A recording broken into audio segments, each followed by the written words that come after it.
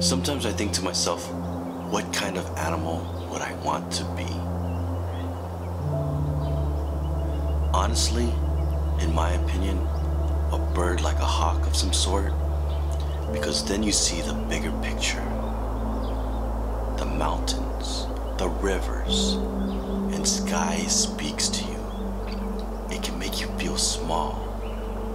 It makes you realize what's more important life. The mountains express emotions and can make you feel something.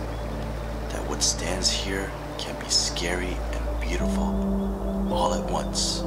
And at the same time, it expresses everything without a single word being said.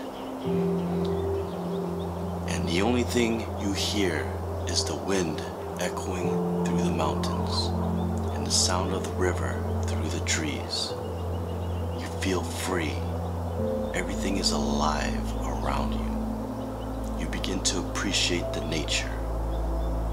It takes you to a place where there are no worries, no problems, just beauty everywhere. It's breathtaking. It's absolutely amazing.